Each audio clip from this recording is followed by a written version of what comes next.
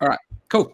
Um, so, uh, welcome everyone. Today we are looking at uh, bicategories. Um, and obviously this is within, you know, this is within the, the seminar on defining the bicategory of Landau-Ginzburg models. So in order to do that, we need to know what a bicategory is. Um, so the main reference for this talk is uh, Handbook of Category, uh, Categorical Algebra, Volume 1, uh, Chapter 7. Um, and that'll be referenced in, in the notes, which I'll uh, get distributed after the talk. Um, so to begin, let's let's look at a category. Uh, so just a reminder on, on what a category is. So a category uh, a category C consists of uh, objects. So we'll call them A, B, C, etc., uh, and morphisms. Right. Um, so we'll, we'll denote that like this using an arrow between between objects as usual. Uh, and we'll denote the set of morphisms, so the collection of morphisms from, from an object A to an object B uh, by, by, this, by this thing here. All right. Um, now, this data for a category is uh, subject to some conditions, right? So we've got an identity morphism, which which which must satisfy a certain property. So uh, we have the identity, right?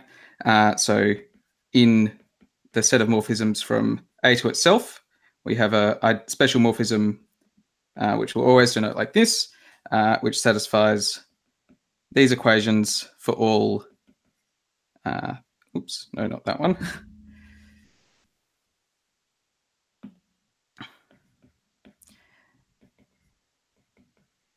For all f and g where where that where those equations make sense, um, and uh, we also have this associativity condition on composition.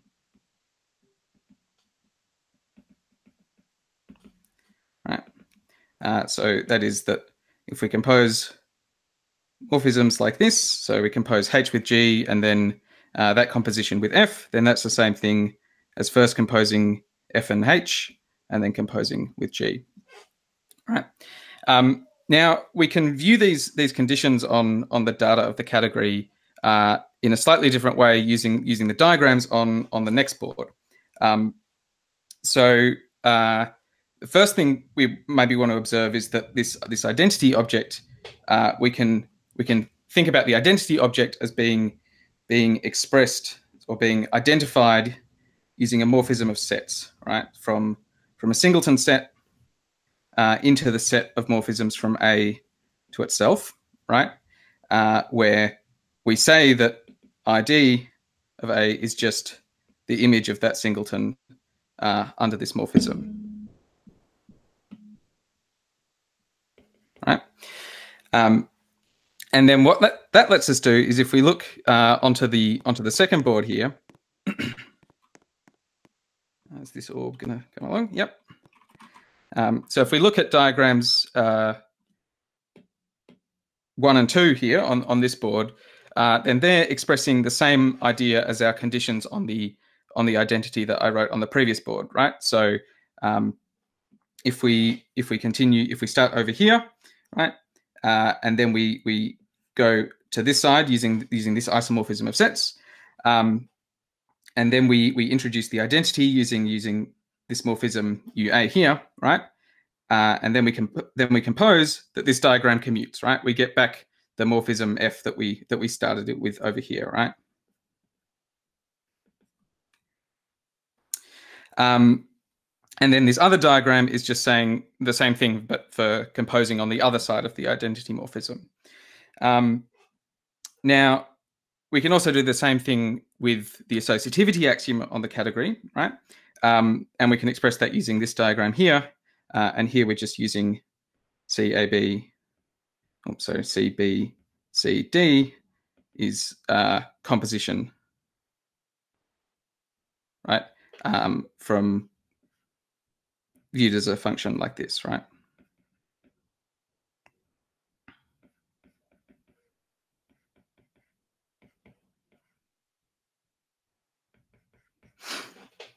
Okay, and and what we're asserting instead of saying instead of stating the axiom as we did before, right? We're just saying that this diagram commutes, right? That we're going around the diagram uh, along the right arm of the diagram is the same as going around the diagram along the left arm of the diagram, right? Um, okay, are there any questions about translating that definition that definition of categories to, into uh, these diagrams? Okay, great. Um, okay, so we'll now move over to the third board. Um, and now we're going to define define on our path to defining bicategories, we're going to define a two category, right?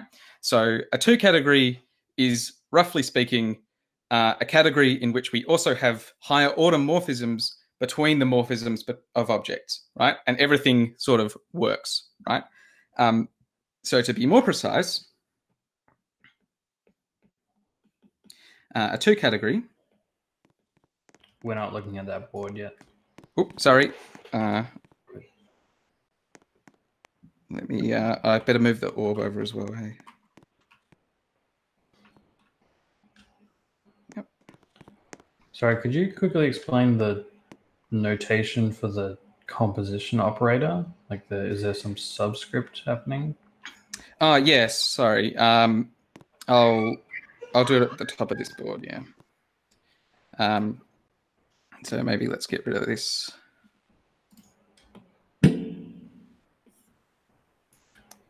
Uh, so we're saying that, that C, A, B, C, right, uh, is is the composition function from uh, these sets of morphisms.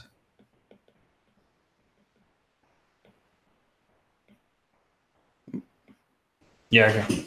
Makes sense.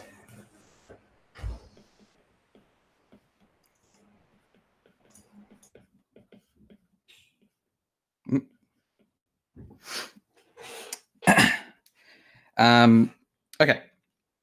So, uh, so uh, a two category.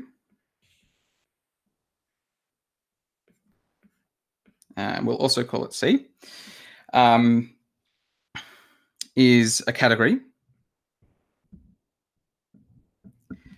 uh, in which in which every set of morphisms is also a category.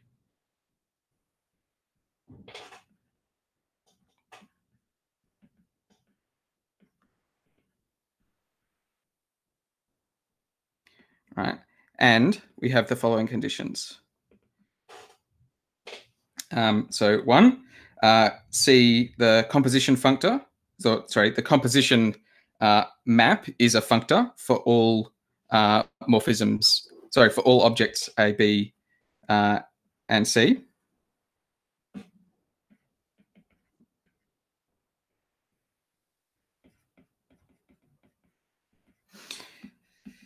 Um, uh, and then so is the map UA, which identifies the identity.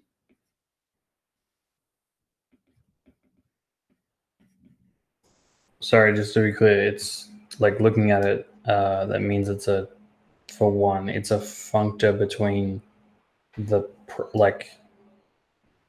Yeah. So what, so you're saying what is this thing is a category? Yeah. And also for the, yep. for the, for the first one.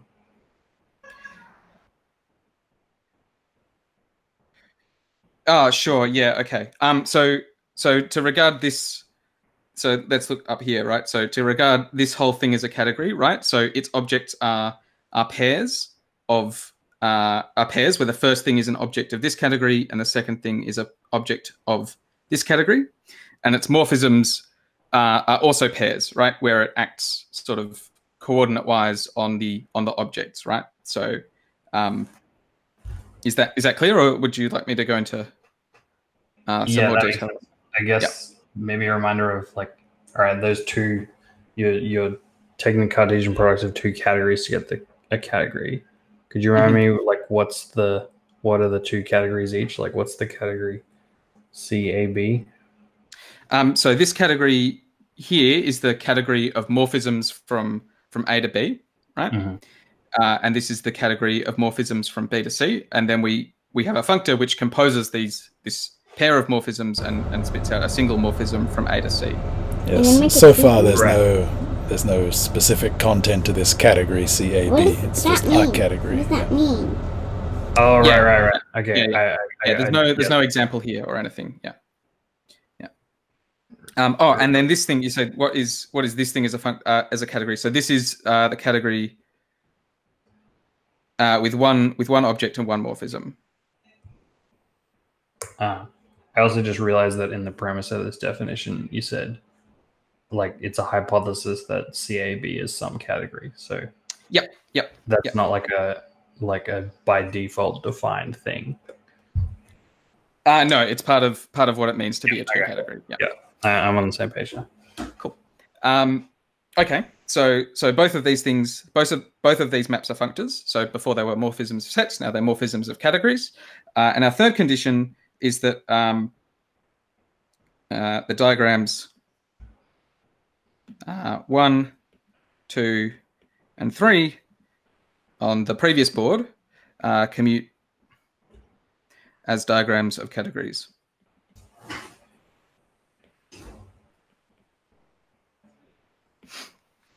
Okay.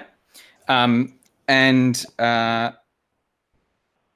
cool. So we call the uh, so so we call morphisms between objects. So uh, maybe I'll say it like this. So we call. Oops. Sorry, you said uh, regard these diagrams as something as diagrams of categories. Sorry, what Yep. did you say about them? Yeah. So so if if we're defining a, a two category, then we want we want these diagrams uh, on the previous board. So I'll I'll, uh, I'll walk over.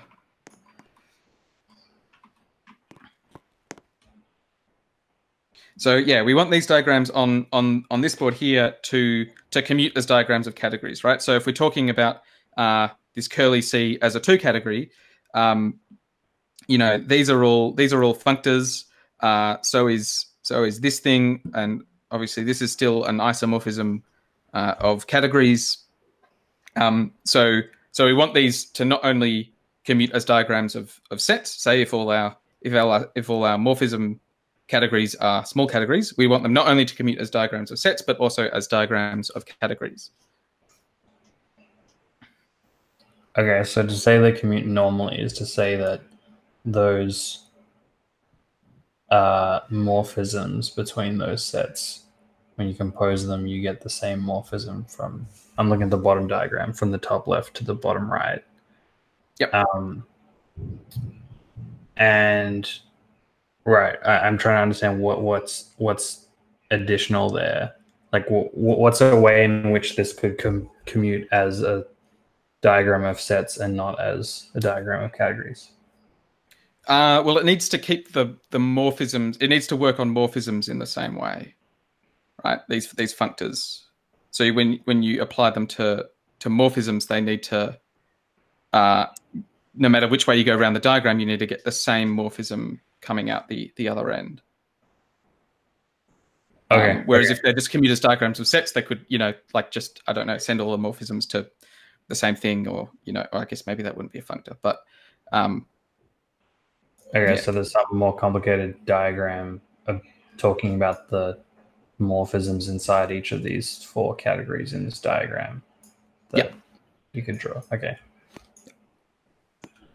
yeah, you could you could I'm sure express like this condition on on a two of you know what or this definition of a two category in a you know different way, not using these diagrams, but it's a sort of a slick way to to sort of do it without you know Right. Okay. spending a long time uh, giving lots of conditions. Um.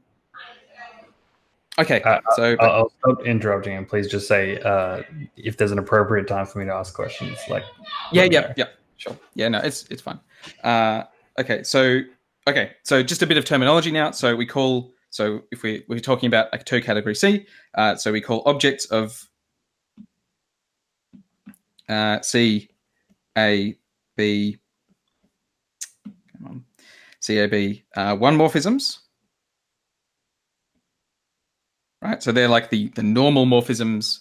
Um, yeah, normal morphisms between objects of the two category, uh, and we call uh, morphisms in here two morphisms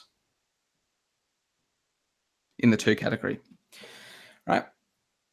Um, okay, and then following following the source, we'll usually denote uh, objects using using capital letters, uh, one morphisms by by lowercase letters, and two morphisms by by Greek letters, right?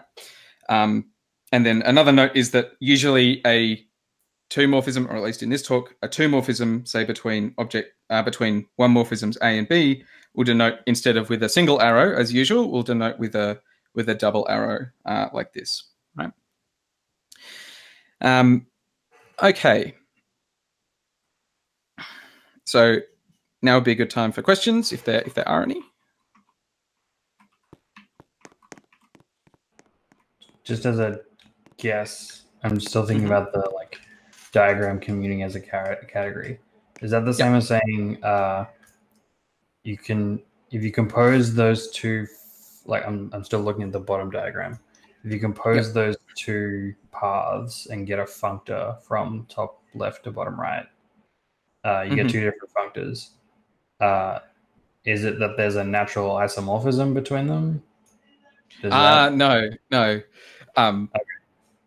It means they're literally equal as uh, as functors, but like that's sort of getting it getting at where this is going, right? Like maybe you can anticipate that actually asking for these functors to be to be equal might be a bit tricky, right? And that's sort of what the bicategory does. The idea of, bi- of a bicategory does is it means that we don't have such a strong requirement on these diagrams. Okay. Okay. Um, okay. So maybe before we go on to talk about about uh, moving on with bicategories, it might make sense to stay talking about two categories for a bit.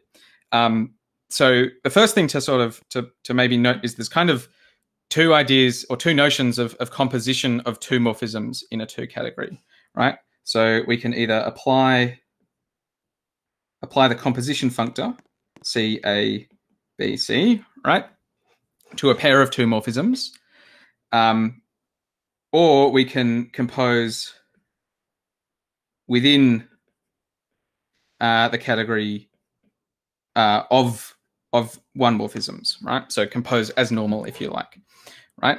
So um, so maybe let's talk about the first case uh, first, right? So so that would be uh, in the following situation, right, where we've got these three objects, A, B, and C, right? And we've got morphisms A, oh, sorry, F, L, G, and M. And then between these morphisms, or the, between these one morphisms rather, we have some two morphisms, alpha and beta, right? So in the category uh, C, A, B, cross C, B, C, right? Uh, we have objects um, F comma L, right? And G comma M, right? And we've also got a, uh, and we've also got a, uh, a two morphism, or sorry, a morphism, um, alpha comma beta? And then if we apply the the composition functor to this to this situation, we obtain the following two morphism, right? So so we get C A B C applied to alpha beta.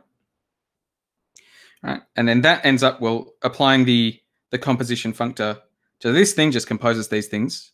Um, and same here, right? Um, and that gives us a uh, a functor, sorry, a two morphism uh, between between the composition of these two things, right? Um, now, at least in the text that I'm working from, this is often called horizontal composition uh, or composition along objects, um, and it's denoted using using a star.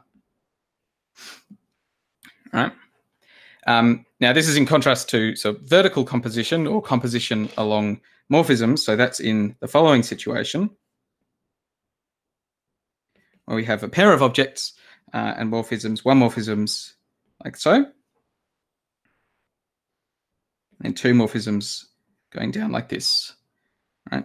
And then obviously we can we can compose these two morphisms uh, to get a uh, a two morphism from F to uh, H, right? Um, okay, uh, maybe I'll. Oops, hang on.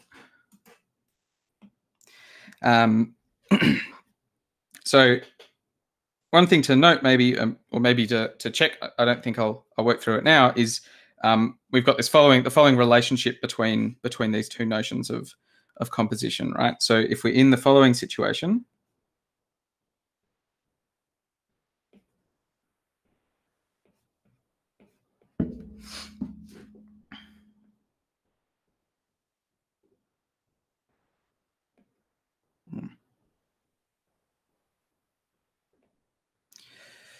Um,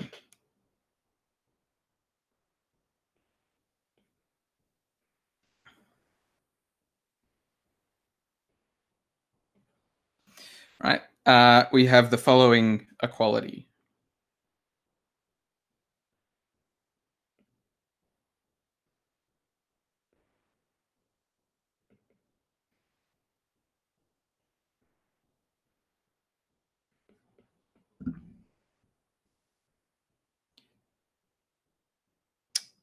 Oh yeah. Right. Um, and this just follows from from the functoriality of of this composition this composition functor. Um, and I think it'll well it'll be worked out in my notes, and I think it will probably also be worked out in the in the textbook. Um, cool. Are there any are there any questions before we before we move on? Could you repeat the uh, you define beta star alpha equal to something? Could you repeat the definition of that? Oh, sorry. So this is the the composition functor C A B C Uh-huh. applied to the object alpha beta, right? So the the pair of two morphisms alpha beta. So, right. So that's composition in the in the CAB category. No, so this is this is composition. Uh, this is so this is the composition functor which we which is part of the data of the the two categories. Oh, right. Right. You're not applying it to the objects of that car- category. You're applying it to the morphisms in the Yep. category. Yeah, yeah. So sorry, yeah. When we apply that functor to the morphisms of the category, uh, yeah, we could get. I guess. I mean, at least Borceux calls it another notion of composition. Um, yeah, I don't know. Look, there's a lot of layers to this. I don't know if you know. yeah, yeah. Well, yeah. You can go to three categories and. um, yeah. Okay. Okay. um, I think I'm okay. fine. Cool. Okay, so well, let's skip over to the to the third board because we need to keep these diagrams around. Um, and uh, I think we're going to need to get rid of the definition of a two category. Uh, The stuff on the other board? Does that come later? Uh, yes, yeah, that diagram might take a while to draw.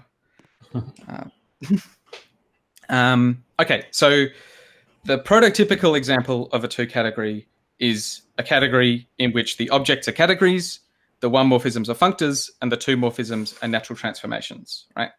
Um, and a lot of intuition and um, concepts from this setting of this, you know, world of categories and and uh, functors and natural transformations just transfer naturally into into a two category. So, for example, we can talk about what it means for one morphisms in in a general two category to be adjoint, right?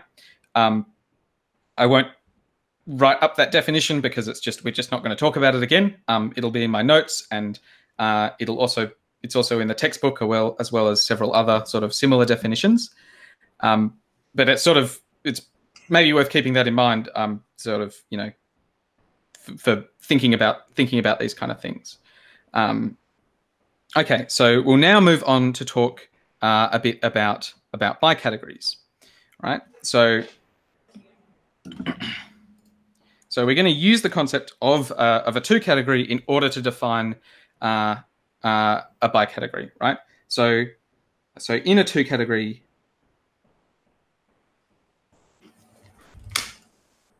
um, consider consider the following diagram. Consider any any diagram of objects and one morphisms, right? So, for example, this square.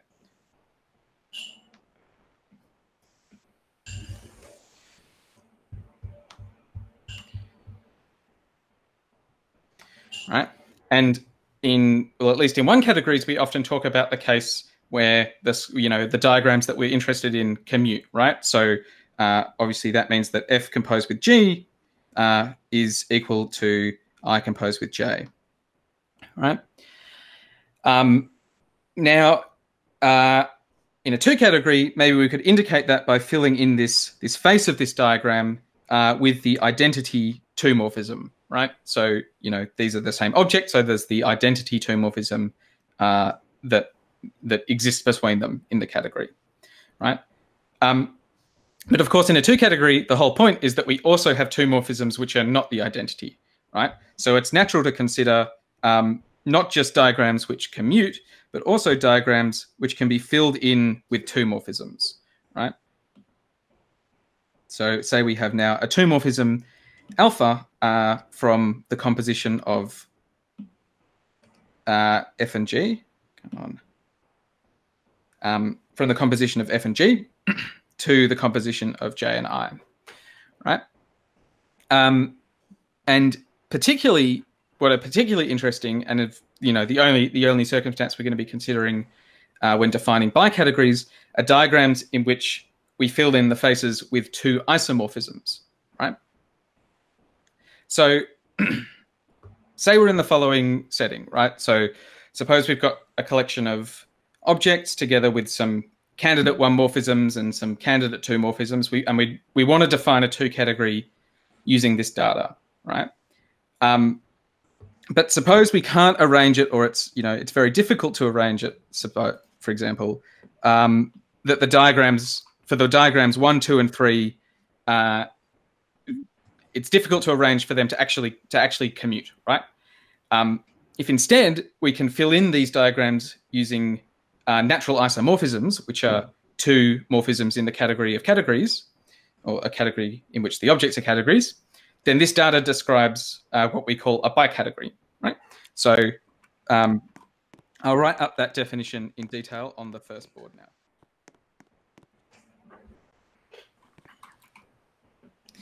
Um, Okay. So, definition.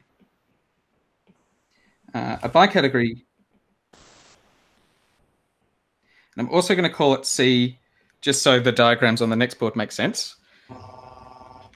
Um, uh, consists of the following data.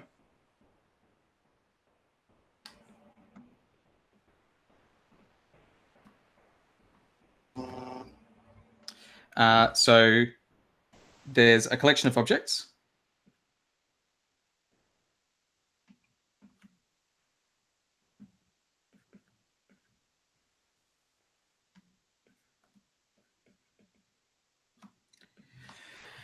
Um, uh, for every pair of objects, uh, category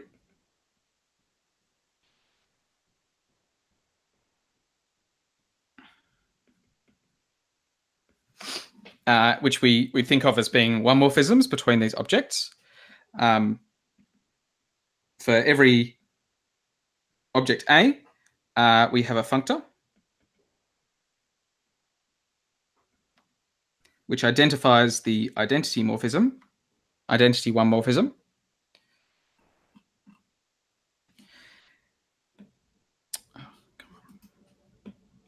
Um, and uh, we have a composition functor as well, right? So this is the same,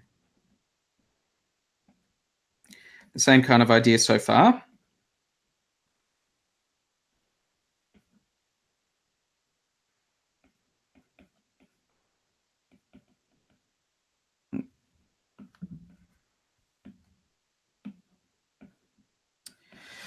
Okay. And then um, for all objects, uh, for all quadruples of objects A, B, C, and D, we have uh, a natural isomorphism alpha A, B, C, D, right?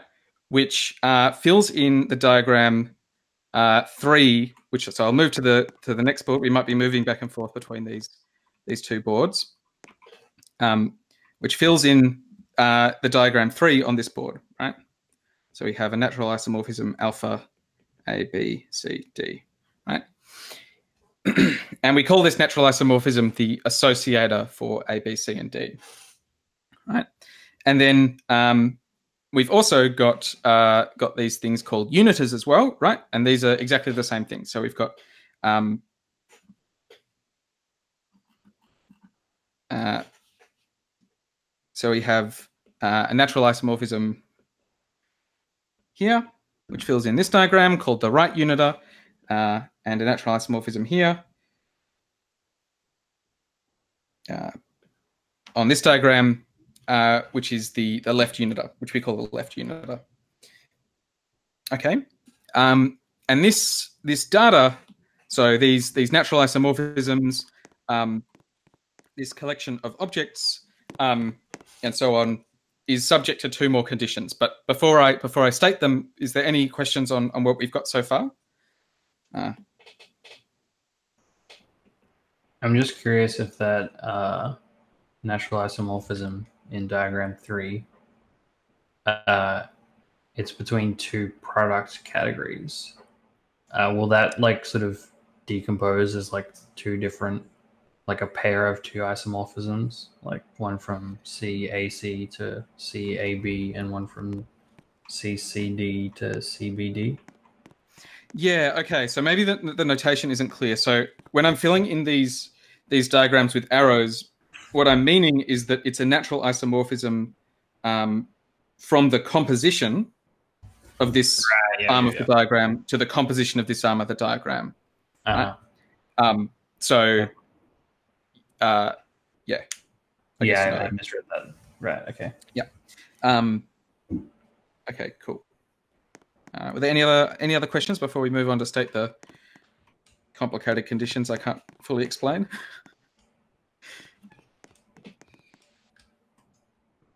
Okay, cool. So let's move on to the third board. oh, actually, uh, we can move on to the fourth board. This why I did this this whole thing, right? Um, so so the data on that first first board is is subject to two conditions, right? So uh, the first is is this one, uh, one, right? So uh, and their conditions, so the conditions about say, so all of this is happening in the category C A E, right? We have the following, right? Um, so given these morphisms, we require that this diagram of morphisms in CAE, we require that this thing commutes, right? So that's the first coherence condition. And then the second coherence condition is uh, a condition on the morphisms in AC, right? So obviously this is holding for all objects A and C. Uh, we require that this diagram of morphisms in, C, in AC we also require that this thing commutes. Um, any any questions? uh, Is he not? What is he not saying? Lol. Let, don't don't let him skate past. Ask him questions. okay, yeah. So I don't really have a good way of, of motivating these coherence conditions. Um, uh, I think so. We'll go through an example of a two category of a bicategory rather, um, and I think it will be sort of clear from that that we probably want these things to be true. Um, I'm not really sure why. I don't understand why they need to be stated as axioms on the bicategory rather than things that you can prove about a bicategory. Um, I mean, you know, or or I can't explain why to motivate that, but um, yeah, these are these are what they are. Um, wait, so to be clear, the condition is that these two diagrams commute. Yes, sorry. So ma- maybe I can add a little bit of intuition. So the first diagram, roughly speaking, says that if you use the associator to rearrange bracketing, that basically in any diagram you're trying to check commutes. If there's a part of it that consists of rearranging brackets, you don't need to worry about it. I mean, if it's purely rearranging brackets, all diagrams that involve that purely commute that's I mean you can make that a theorem, but that's roughly the content. So it's just like when you when you learn algebra for the first time, you learn that you have a binary operation and you're supposed to multiply things, and in principle there should be brackets everywhere, but you quickly drop them, and you know that's okay. And this makes it similarly okay to do categorical algebra using rearranging of brackets. Um, although the sense in which it's okay is more sophisticated and doesn't fit in the scope of Rohan's talk. And the the second point is exactly the same. Just when you use uh, when you combine brackets with the the unitors, uh, you also don't really have to worry about where the brackets are. Um, but yeah, I think I think Rohan's right in wanting to skate past this. This is a, a bit of a subtle point for an introductory talk. This is actually it's actually pretty funny. Just realizing what it what it's about. Um, I think it actually makes a lot of sense uh, that like it's just the higher level associativity. Uh, like like we have composition is associative, but these are sort of ways of rearranging composition. And it's just saying that like like I'm imagining like a student performing like rearranging of brackets for their like formal proof theory class and it's just saying if they have multiple choices to make in how they rearrange the brackets to get to the end i don't know i mm. guess that those actions that they do if they chose them in a different order or something uh the the actions themselves are equal or something to like the other path of actions they can take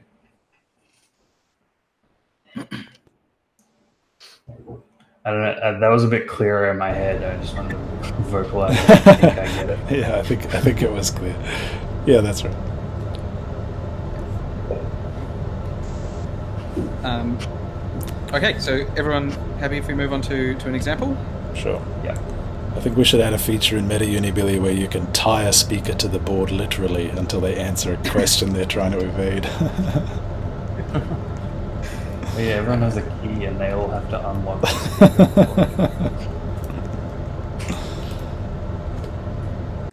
um, okay, so so we're going to be yeah. So here's an example of uh, of a bicategory.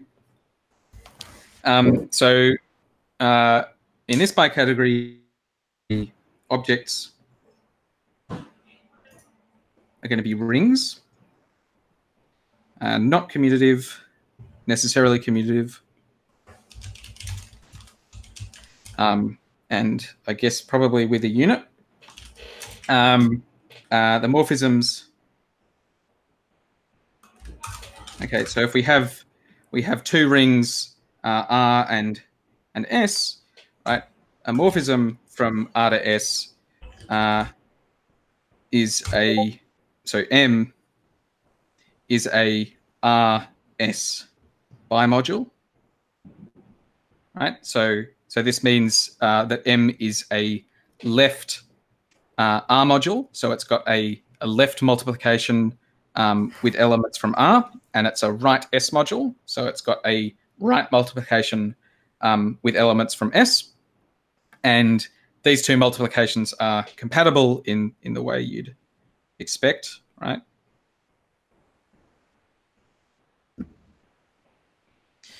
Um, okay. Uh, so so sorry, they're they're the one morphisms, right?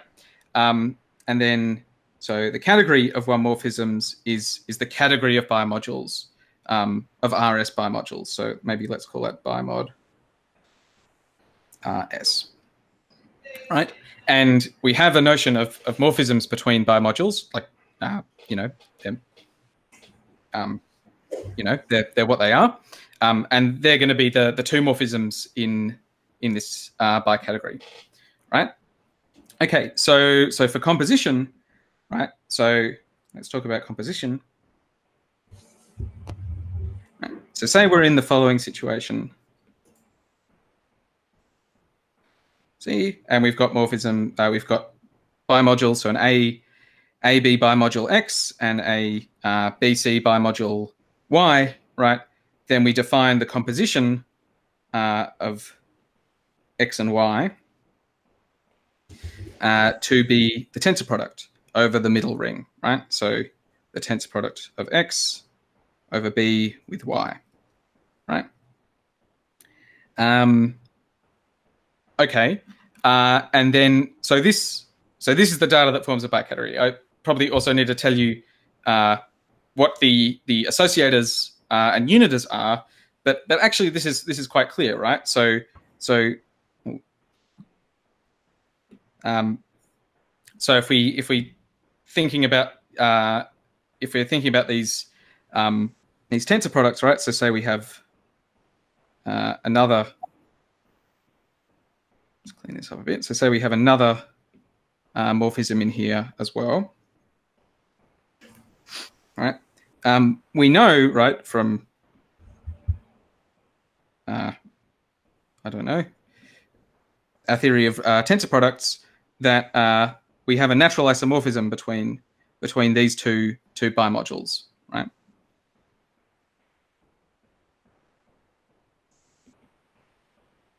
Right. And in each case, as we vary uh, the rings A, B, uh, C, and D, uh, that's going to be the the associator natural isomorphism in each case, right? Um, oh, I didn't tell you what uh, what uh, the identity is. Well, a uh, over the object R, the identity is R, right? And we also know so R is a RR bimodule over itself, right? And we know that R tensored over R with any other module is you just get something that is naturally isomorphic to that module module back, right? Uh, and the same for tensoring on the on the right. Um, and I think using this example, so I guess we haven't gone through it in a huge amount of detail, but using this example, it's sort of it's good to think, well, if we instead we were trying to define a two category, like what would have happened here, right? We would have we would have come up with these objects, these morphisms, um, the identity, and this idea about composition. But somehow we needed we would have needed to arrange for these these two tensor products at the end to actually be to be equal rather than naturally isomorphic. Naturally isomorphic, um, and uh, that seems really difficult and dependent on exactly how you how you define tensor products. Um, so instead, you know, the trade-off that we get for having these sort of complicated um, and long coherence conditions is that it's sort of actually coming up with bicategories is is a bit easier. Um, are there any questions on on this example? Can you briefly describe the tensor product of two modules? Um, sure. Uh, let's go to um, maybe let's get rid of the coherence conditions. Unless anyone wants to talk about them again, because I don't want to draw them up again. You could throw out a personal board if you wanted. I don't know. Dan, do you think that's a good idea?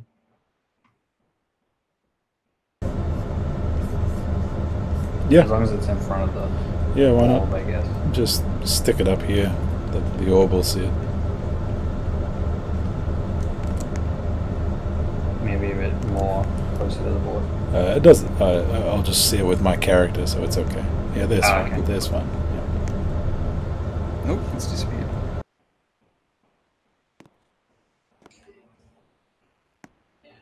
And just press the. Oh, What's going on? you can write on mine. Oh, you got yours. Nope. Hmm. Oh, there we go. Uh, okay. Um, uh, so maybe the most con- of, of thinking about the tensor product is so um, two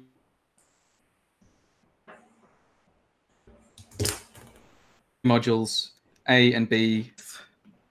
Oh no no no no! Hang on.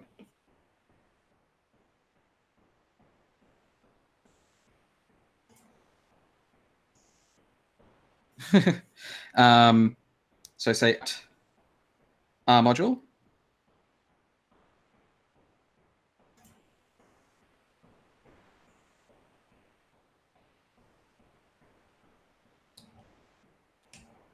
And B, this tensor product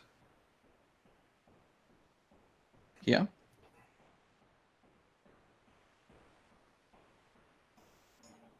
E uh, group on the Cartesian product, right? So, so what that means is we take all pairs of um, all pairs where the first thing in the pair is an element from A and the second thing in the pair is an element from from B, um, and we we add them in, in, a formal sense, right? So we construct all all all sums of these these objects, right?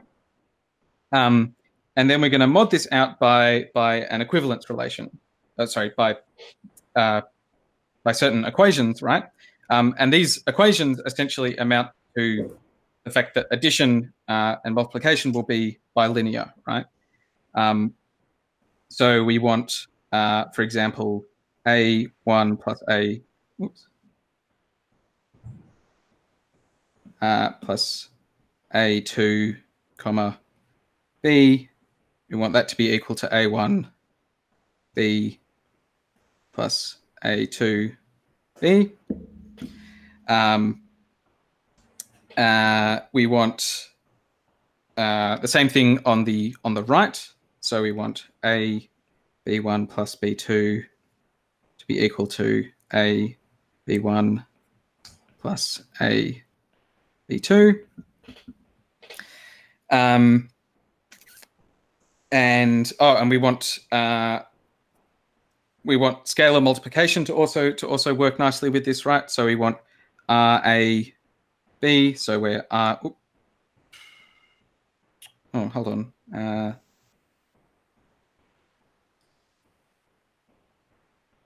oh yeah, yeah. Sorry. Yep.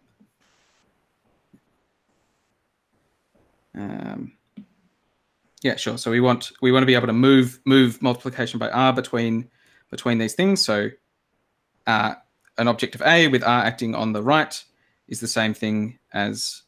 Oh, let me finish writing that.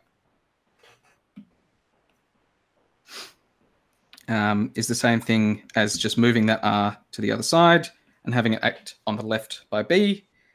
Um, is that everything? yeah. Okay. Uh, cool. Um, and we take the the abelian group generated by those relations. Um, so as A, A1, A2, B, and A and B and B1 and B2 vary over every single element in these things. Um, and we define that to be uh, the tensor product A tensor uh, B. And then when you see someone write an element of this tensor product, say, usually they'll write it as like little a tensor B, what that means is they're talking about the pair A, B, right? A comma B. Um, were there any questions about that? Wait, they're referring to that element, but or like the equivalence class of that element. Yeah, yeah. So yeah, yeah, the equivalence class of that element. Oh. Yeah.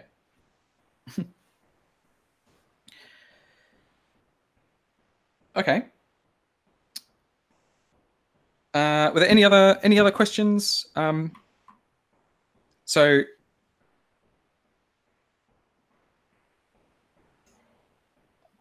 I think like, oh, yep.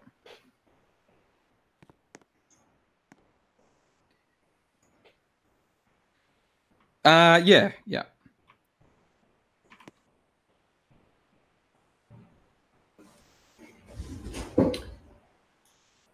Did you have more you wanted to present, or is this the end of twelve question time.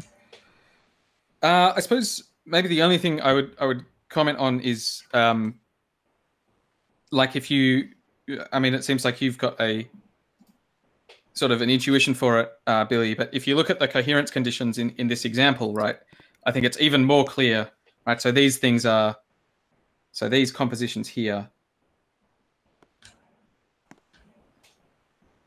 Sorry, what board are you writing on? Oh, sorry, I'm on the on the board we're standing in in front of the um The big one. the, the big one, yeah. Um, so if we're looking at these coherence conditions again, so these compositions are now tensor products. In, in this example we're working through, this this bimod cat, bicategory, um, these are all tensor products of of modules, right? Um, and you can sort of see, right? You know, obviously these things are going to be true true in this case, right? And it's sort of the, the nodes of this diagrams are Yeah. tensors of modules. Yeah. Okay. Yeah so this this thing is a tensor product of modules, and, and same for each other vertex. Um, and like obviously, this this will be true in this case, right? You can rearrange the brackets in a in a tensor product in you know a series of tensor products of modules, and we'd really sort of want this to be true in at least in you know in this example. Um, so yeah, I suppose maybe that was all I all I had to say more uh, on that.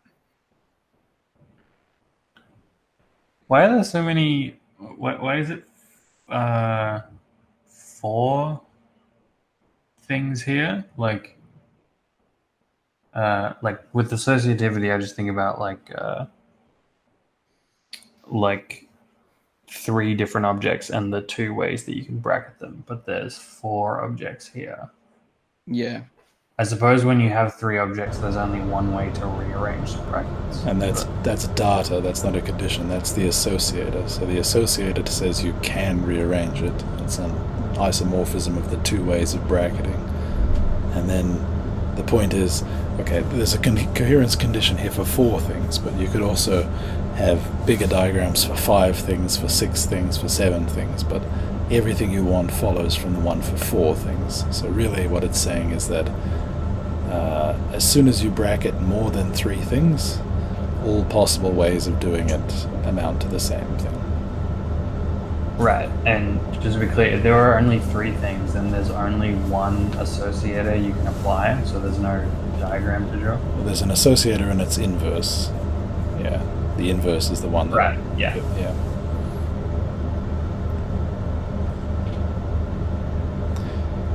Yeah, it's actually, uh, in the case of bimodules, it's a good exercise to check that this diagram commutes from the universal properties. Um, because those tensor products in at, at every vertex are some. I mean, there's an object in the c- category of bimodules which has a universal property with respect to bilinear pairings suitably defined from some Cartesian product, and you can unravel it to see that what you're talking about is a universal multilinear form on four a Cartesian product of four things, and uh, five different ways of realizing that universal bilinear form, and that's Mm. what this diagram is talking about. But it's it, it's kind of it's trivial to check because I mean what this diagram amounts to if you expand it in the notation that Rohan just explained is something like uh, well it's a bit hard to choose right the right letters but uh, so it'd be like x and then a like an element in the top left would be something like x tensor y tensor z. On my mouse so forgive me uh, tensor of course after z comes u um, and then you'd rearrange the brackets on that as you go around the diagram but of course you get to the same thing in the end. It's it's just the two different way two different ways of rearranging bracketing in the tensor um, it's not very instructive. It doesn't really give you a feeling for what the true content is but the true content lies in understanding this in terms of the original construction of the tensor products involved. So that's uh, one way to see that it's not completely sort of tautological or that there's some, uh, see what it's saying.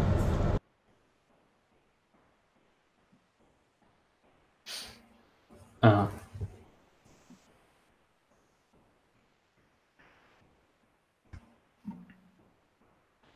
Can I ask about the the left and right modules thing? Um, Mhm. I don't know if maybe I missed it, but uh, like you define the module as an as a function from R to S, was it Um, like a a module oh, and it- yeah, so it's a morphism in this in this bicategory example on, on the second last board uh, oh yeah yeah this is where we Yeah. were over here. yeah that thing Yeah, yeah. so it's it's just a it's just a morphism, an arrow from from R to S. Um, so it doesn't make sense as a you know, it doesn't do anything to elements of of R, but it it still defines a, a bicategory um, when we think about them as morphisms. Okay, so you can multiply on the left by R by like left multiplication on the input or something. No, it's Uh, Um, there's no input. wait, It's- no. Yeah, it's it's an abstract definition, so there's no there's no functions involved. It's just given a module which has a left action by R and a right action by S. So, for example, you could take R and S to both be Z and M to be an abelian group. Then any abelian group is a module over Z. You act by an integer by just adding up an element of your module that many times. That's because the ring is commutative, that's both a left and a right module structure. That makes M, an abelian group, a bimodule over ZZ. So any abelian group would be an arrow, not a function, it's just like a formal counted as an arrow from Z to Z in this bi category. But there's no there's no inputs or outputs. Does that make sense? Oh okay. So there's nothing on okay. There's nothing on this page to like remind me of what a morph is, what a left, what a module is, a bimodule between R and R. It's Yeah. It's just this is what a morphism means between R and S. It's a bimodule, and that Yeah. might look like something else. Yeah. So if you if you're not if anyone's not familiar with or you know doesn't remember what a module is, just think about R and S as being as being fields, and then and then M is just a vector space um, over R and S. Yeah.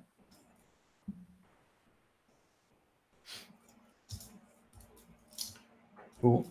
That's all the questions I had. Thanks, Rohan. Cool. Yeah, that was great. Thanks, Rohan. I guess we'll um, we'll leave it there. Cool. Sounds good. Cheers. Um, I'll catch you next week. See yeah. Yeah, see you guys later. Yep. See ya.